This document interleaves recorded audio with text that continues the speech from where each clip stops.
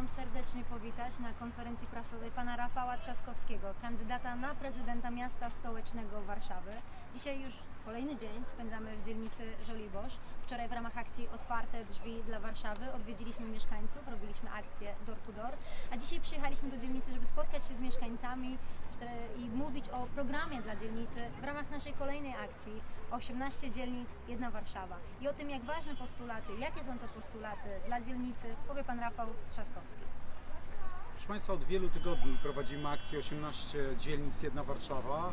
Logika jest taka, że oczywiście rozmawiamy o programie dla Warszawy, o tych e, głównych propozycjach, które składamy dla wszystkich warszawianek i warszawiaków, ale również e, chcemy, żeby ten program wynikał z e, tego, o czym mówią mieszkańcy poszczególnych dzielnic i przedstawiamy również programy dzielnicowe. Wczoraj i dzisiaj jesteśmy na Żoliborzu. Dzisiaj przyszedł czas na ogłoszenie propozycji właśnie dla Żoliborza. Tych propozycji, które wynikają po prostu z e, dziesiątek rozmów, które ja przeprowadziłem tutaj w dzielnicy, bo to już jest e, dziesiąty raz, kiedy jestem na Żoliborzu. To są te najważniejsze propozycje. Wszyscy właściwie w Warszawie, gdziekolwiek nie jesteśmy, mówią o rozbudowie infrastruktury szkolnej, edukacyjnej. To jest właściwie priorytet w każdej dzielnicy. Tutaj chodzi o to, żeby mówić o konkretnych lokalizacjach. Stąd budowa nowych szkół i przedszkoli przy ulicy Anny German, przy ulicy Ficowskiego i przy ulicy Krajewskiego. Ta infrastruktura jest niesłychanie istotna e, i tak jak powiedziałem, w każdej dzielnicy staramy się pokazywać dokładnie lokalizację, gdzie ta infrastruktura się e, pojawi. Druga kwestia, więcej miejsc parkingowych w dzielnicy i przede wszystkim chodzi tutaj o rozbudowę park and ride'u na e, Marymoncie. To jest też sprawa niesłychanie istotna, bo wszyscy wiemy, że ten parking jest w tej chwili przeciążony, że bardzo wiele osób zostawia tam samochody, przesiada się na komunikację miejską. Co do zasady dokładnie nam o to chodzi e, i tego typu miejsca będziemy rozbudowywali. I w końcu trzecia rzecz, budowa Żoliborskiego Domu Kultury. Wiemy, że taka instytucja tutaj na Żoliborzu jest niesłychanie potrzebna. Zresztą rozmawialiśmy o tym również wczoraj i to jest jedna z tych deklaracji, którą ja składam. Za chwilę spotykamy się z mieszkańcami Żoliborza. Będziemy rozmawiali i o programie dla Warszawy, i również o tych konkretnych propozycjach dla Żoliborza. Poza tymi trzema jest ich więcej. Dzisiaj rozmawialiśmy o tym również tutaj na Żoliborzu i będziemy rozmawiali o tych konkretnych propozycjach z samymi mieszkańcami. Także serdecznie zapraszamy na to spotkanie. Chciałam zapytać, czy chcieliby Państwo o coś zapytać. Ile tych nowych szkół i przedszkoli Pan planuje? Tutaj na Żoliborzu, czy w ogóle w Warszawie? Tu. W tej chwili mamy właśnie trzy nowe lokalizacje, o których mówiłem, e, dla szkół podstawowych. Wiemy o tym, że zwłaszcza jeżeli chodzi o Żoliborz Południowy, tutaj są olbrzymie potrzeby i to są te lokalizacje, które, y, w których będą budowane te nowe obiekty. A terminy? Jeżeli można o terminy.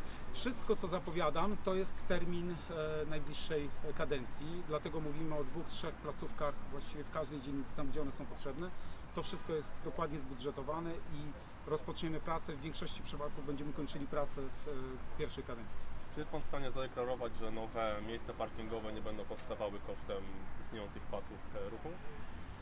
Ja o tym wielokrotnie mówiłem, że tam, gdzie będziemy budowali nowe miejsca parkingowe, będziemy przede wszystkim starali się o to, żeby to nie wpływało na ruch e, samochodowy w mieście. Większość tych miejsc, które deklarujemy, to są parkingi podziemne, ponieważ chcemy te samochody, które są w tej chwili na przykład na miejskich placach, po prostu wpuszczać pod ziemię. Pierwsza taka inwestycja zacznie się przy Pałacu Kultury i Nauki.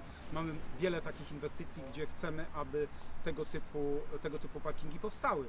Notabene tutaj, gdzie stoimy pod placem Wilsona, mamy gotowy parking. Niestety jeszcze za czasów poprzedniej ekipy nie zostały zrobione tam wjazdy i wyjazdy. Będziemy też dokładnie tu na placu Wilsona analizowali tę sytuację. Niestety w związku z tym, że plac się rozwijał, w tej chwili koszty y, otwarcia tego parkingu są bardzo duże, ale będziemy to również analizować, bo zależy nam na tym, żeby przede wszystkim te parkingi były albo na obrzeżach miast, park and ride, a jeżeli mówimy o samym mieście, to żeby to były parkingi podziemne, które nie będą wpływały na, na ruch y, samochodowy, kołowy czy na komunikację miejską.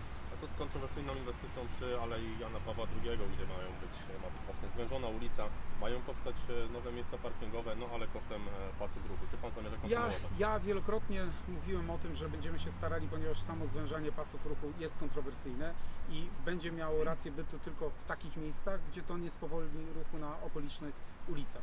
Oczywiście może być tak, że w momencie planowania inwestycji, czyli wykonywania tymczasowo wpłynie to na ruch, natomiast w innych miejscach będziemy to dokładnie analizować, tak, żeby ewentualnie zwężenie ulicy nie miało wpływu na e, ograniczenie ruchu czy spowolnienie ruchu na ulicach e, przylegających do danej inwestycji. A konkretnie Aleja Jana Pawła II, czy Pan zamierza kontynuować tą inwestycję konkretnie odpowiedziałem, odpowiedziałem Panie Redaktorze na to pytanie, że dokładnie będziemy przeprowadzali analizy, jeżeli chodzi o wpływ ruchu, e, wpływ tej inwestycji na ruch na innych ulicach.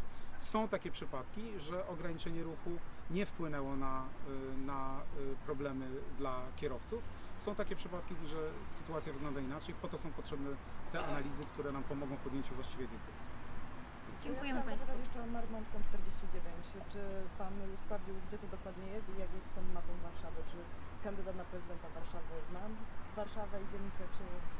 Oczywiście. Nie wiem, czy Pani słuchała mojej wypowiedzi, ponieważ jasno powiedziałem, że Marymącka, pytanie czy na Marymoncie, czy jest to podchwytliwe pytanie, oczywiście wiem, że na Bielanach.